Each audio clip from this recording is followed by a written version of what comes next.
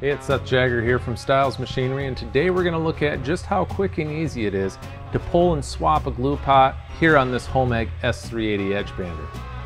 Now first we want to take a look at this quick melt that's equipped on this machine and this is often called the Stein quick melt or the beer mug quick melt. And this houses a two kilogram slug and it can run not only PUR but now EVA as well. How this quick melt works is it's going to swing over the top the glue pot it's going to assist in keeping that glue pot full at all times so we don't have to fill it by hand. So let's swing this back out of the way. Now let's take a look at the steps to get this glue pot out of the machine. First, we're going to need to remove this infeed tray and this guard as well. So let's go ahead and do that.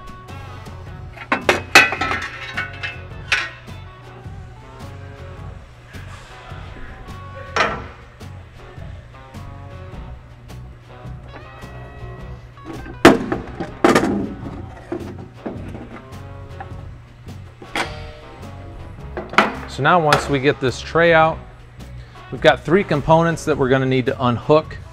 First, we're gonna start with main power for the glue pot, so let's go ahead and unhook that.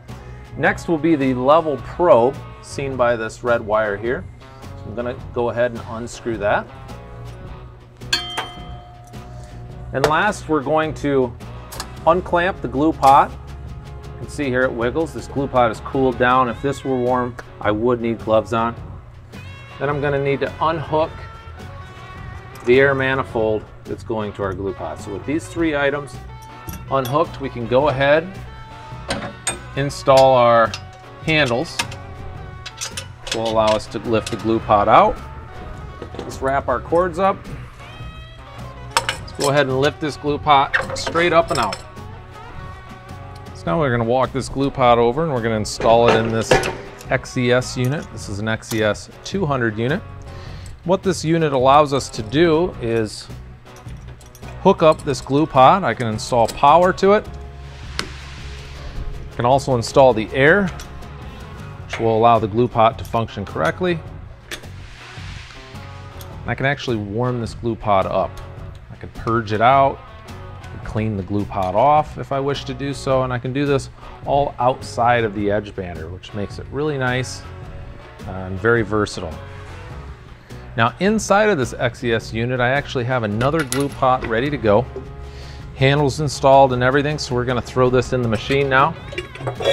It's important to note that this could have been warming up this entire time, so we would have a very quick swap from maybe a different color to a different type of glue. So once I've got it seated nice in there, we'll take our cords. First we'll reinstall our air. Then we'll reinstall the leveling probe here.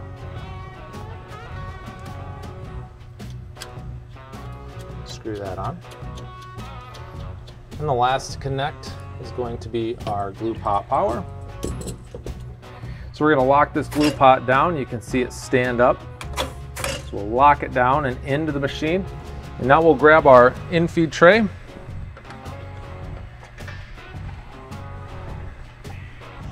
Install this back into the machine here. Like so. So the last step to completing this will be to install this guide. And we're finished. That's how easy it is swap out a glue pot here on this Homag Edge Bander. For additional information, please visit stilesmachinery.com.